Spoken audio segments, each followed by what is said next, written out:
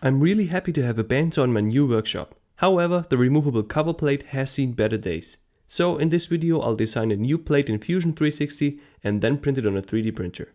And that's a perfect example on how handy it is to have one of those printers in your shop. With a basic understanding on how design tools work, you get replacement parts for free. So with that being said, let's jump right in. First I created a new sketch on the bottom plane. By pressing L to activate the line tool, I roughly outlined the part without being too precise on any dimensions.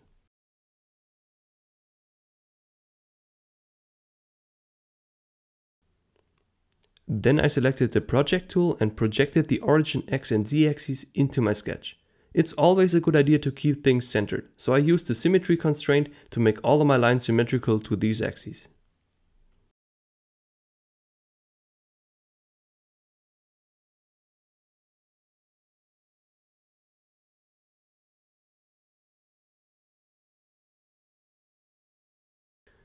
Now I started dimensioning all lines with the measurements made with my calipers.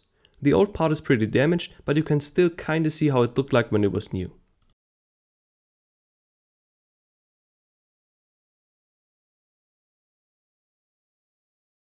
Another two vertical lines define the inner slot width and will later be used to make two chamfers. I think these are there to give the chips room to fall down and get sucked up by the dust collection. I also made these symmetrical to keep the design consistent. Before finishing this sketch, I'll use the offset tool to create the inner shell of the part. The old one had a shell of 2mm, but I'll make it 3 so it gets a little bit more rigidity.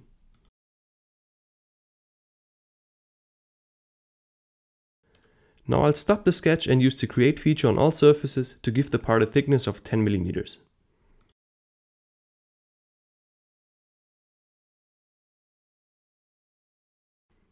To reuse the sketch, I clicked on the small light bulb in the browser. Then I once again used the create feature but only selected the inner faces. By setting the starting point to from object and clicking on the upper surface of the part, I can drag down the arrow to remove some material. I want it halfway through so I'll go with minus 5 millimeters. Now I use the chamfer feature on both inner edges and just eyeballed the size until it looked like the old part.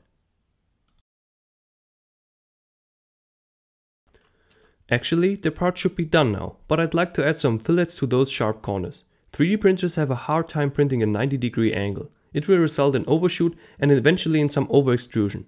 That will make the edges stand out, your part will get bigger and then it might not fit anymore.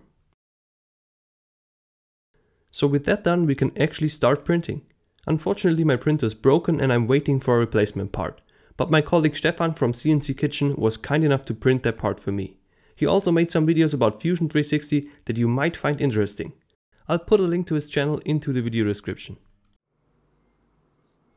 I chose colorFabb's wood-fill filament because the color matched with the bandsaw and it somehow made sense to quote-unquote make a wooden part for this machine. It printed great, but unfortunately it turned out just a little bit bigger than in the design.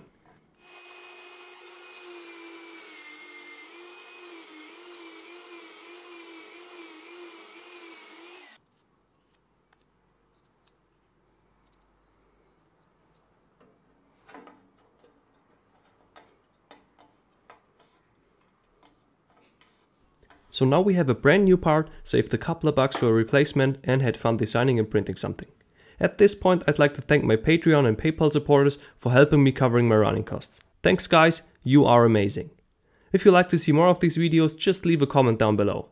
With that being said, thanks for watching and I'll see you next time.